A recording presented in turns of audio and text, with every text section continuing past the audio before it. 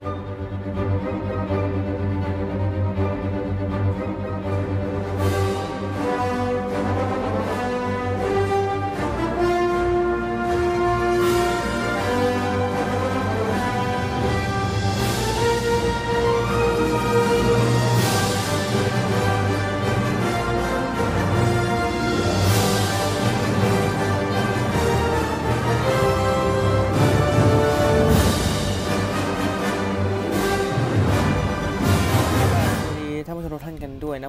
จะมารีวิว S.H.Figuarts Kamen Rider Woz นั่นเองนะผม หรือว่า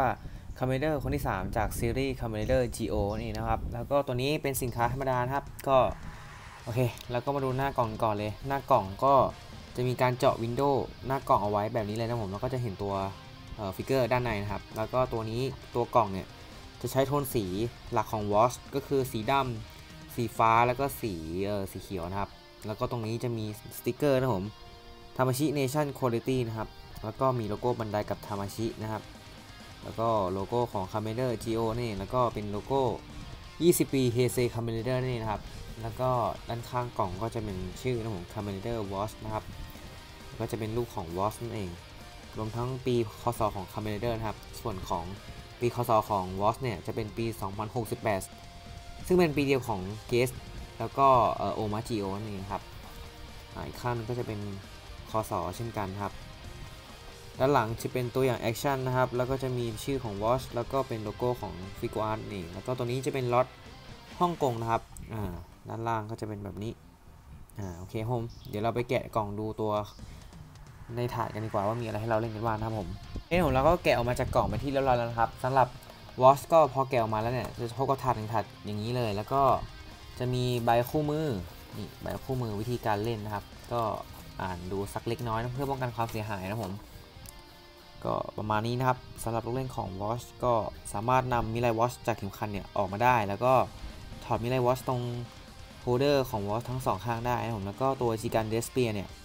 สามารถเปลี่ยนโหมดได้ประมาณนี้เลยนะผมก็เหมือนภายในเรื่องเลยนะผมอีกใบนึงจะเป็นใบสั่งสินค้าครับซึ่งมันไม่มีอะไรนะผมก็ช่างมันโอเค ในถาด ตัวฟิกเกอร์เนี่ยก็จะมีตัวฟิกเกอร์นอนอยู่ในถาดนี้เลย แล้วก็จะมีมืออีก 2 คู่นะครับ ด้านหลังจะเป็นอาวุธประจำตัวของ Woz นะผมนั่นก็คือ Zikan Despear นั่นเอง โอเคผมเดี๋ยวเราไปแกะออกจากแพ็คกันเลยครับก็ออกมาแล้วครับสำหรับ Kamen Rider Woz นั่นเองนะผมก็เดี๋ยวเรามาดู detail กันทีละทีกันเลยนะผมสำหรับดีเทลก็ตัวนี้เป็นอีกตัวที่สวยงามมากนะครับ ก็เหมือนกับภายในเรื่องเลยในเรื่องเป็นยังไงของเล่นก็เป็นแบบนั้นเลยนะผมก็รู้สึกอย่างนั้นเลยนะครับ โอเคสำหรับหัว ก็ระวังส่วนเขา เช่นเคยนะผมเพราะว่าบางแล้วก็แหลมมากนะผมถ้าหักถ้าเกิดมันตกแบบแรงๆเนี่ยมันมีโอกาส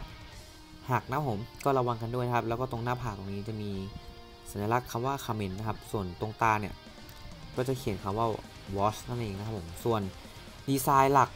ของเจ้าตัว watch เนี่ยมันจะเป็นเหมือนกับ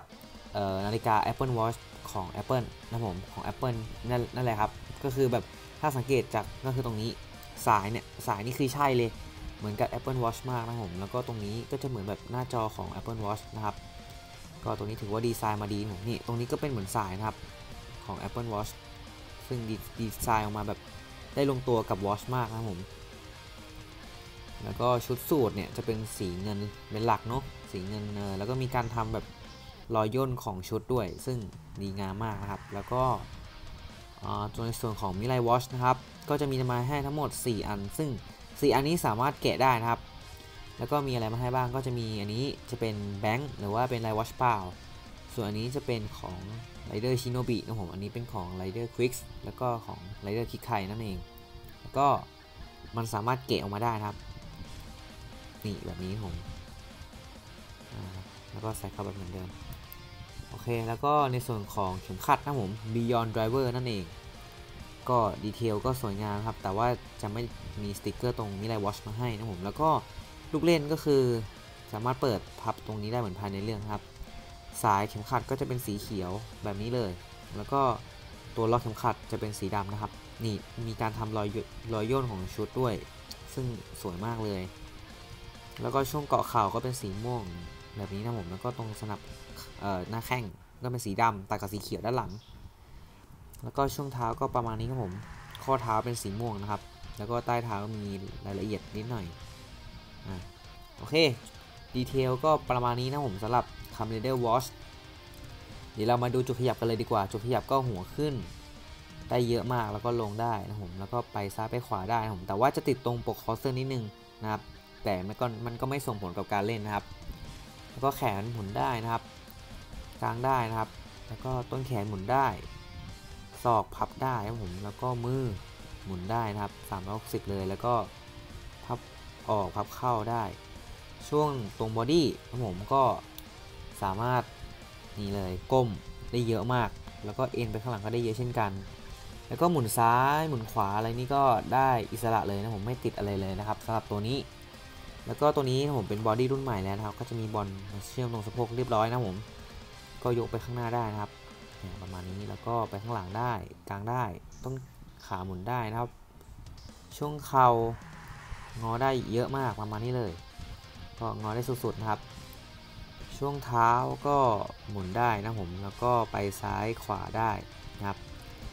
ปลายเท้าจิกได้ โอเคจุดเขียวก็จะเป็นมาตรฐานของ SF f i g u r นั่นเองนะผม โอเค เดี๋ยวเราไปดูอุปกรณ์ชิ้นต่อไปภายในกล่องเลยนะผมชิ้นแรกนะครับ Zikan Despear นั่นเองนะผมก็หลังดูจาก detail แล้วเนี่ยเหมือนในซีรีส์เป๊ะเลยนะผมแล้วก็มีการทำ detail ตรงที่สแกนตรงนี้ด้วยนะผมแต่ว่ามันไม่สามารถสแกนได้จริงๆนะเป็นแค่การจำลองเฉยๆนะผมก็สวยมากเหมือนในหนังเลย ก็นี่นะผมชิกันเดสเปียนะครับ ก็ดีเทลก็ประมาณนี้นะผมจัดๆเลย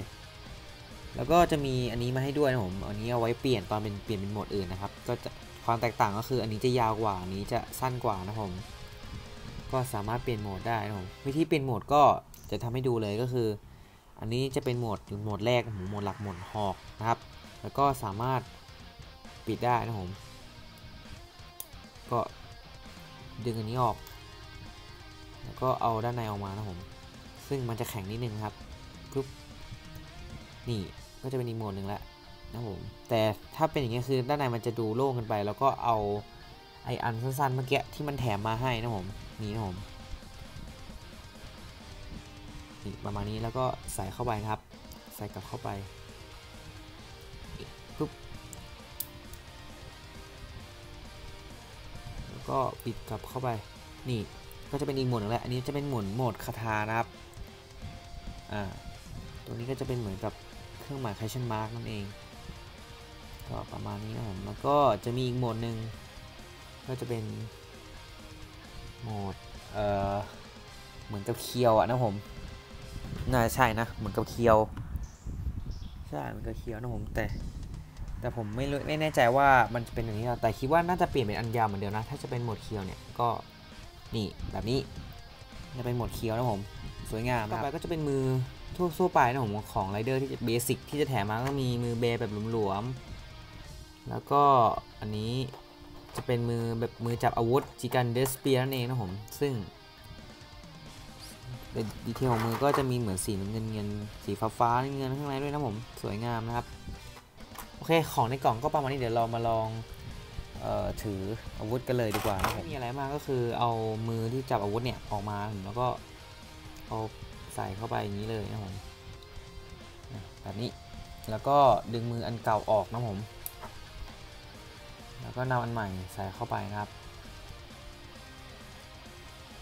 ปึ๊บแบบนี้ แล้วก็จะได้วอชถืออาวุธแล้วเรียบร้อยนะผมนี่ประมาณนี้นะครับ โอเคผมสำหรับกล่องนี้ก็มีของประมาณนี้ครับผมเดี๋ยวเราไปดูฟังสรุปพร้อมกันดีกว่าสรุปนะครับสำหรับตัวนี้ผมผมก็เป็นอีกตัวหนึ่งที่ไม่ควรพลาดนะครับ เพราะว่าเป็น ตัวหลักอีกตัวหนึ่งภายในเรื่อง GO เลย แล้วก็ใครที่เก็บเจ้า GO กับเกสไปแล้วเนี่ย ก็ไม่ควรพลาดตัวนี้นะผม เพราะว่าตัวนี้ก็เป็นอีกตัวหนึ่งที่มีบทบาทภายในเรื่องสำคัญนะครับ แล้วก็กล่องนี้เนี่ยพิเศษก็คือจะมีอาวุธประจำตัวแถมให้ด้วยนะผมส่วน มันจะไม่เหมือนกับเกสแล้วก็ GO ที่มันจะต้องไปซื้อชุดมอเตอร์ไซค์เพิ่มเพื่อที่จะเอาอาวุธของแต่กล่องเนี้ยได้อาวุธมาให้เลย แล้วก็ราคาไม่แรงด้วย ถูกกว่าไอ้สตัวนั้นด้วยนะผมถูกที่สุดเลยด้วยแล้วโอเคสำหรับตัวนี้ก็คิดว่าไม่ควรพลาดนะครับ ก็เก็บให้มันครบๆไป 3 ตัวหลักนะผม โอเคสำหรับคลิปนี้ก็เอาไว้ประมาณนี้ผมใครชอบก็อย่าลืมกดไลค์กดแชร์แล้วก็อย่าลืมกด subscribe ด้วยผมด้วยนะครับ แล้วก็อย่าลืมกดกระดิ่งเพื่อที่จะไม่พลาดคลิปใหม่ๆด้วยนะผมไว้เจอกันใหม่คลิปหน้าครับผมสำหรับนี้ สวัสดีครับลอยลงเข้าไปในห่วงแห่งเวลา